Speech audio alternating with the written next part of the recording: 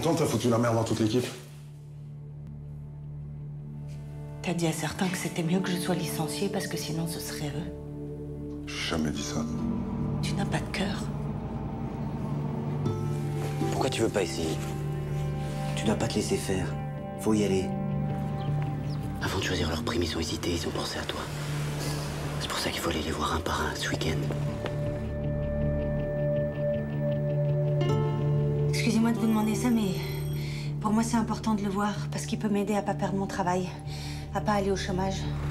La prime, nous, c'est parce qu'on a bossé qu'on l'a. Mais je sais. T'as pas honte, franchement, de venir nous piquer notre fric Non, je la ferme pas, dégage Il y en a déjà combien qui acceptent de perdre la prime? Quatre avec toi. J'en ai encore neuf à voir. Tu vas y arriver, j'en suis sûr.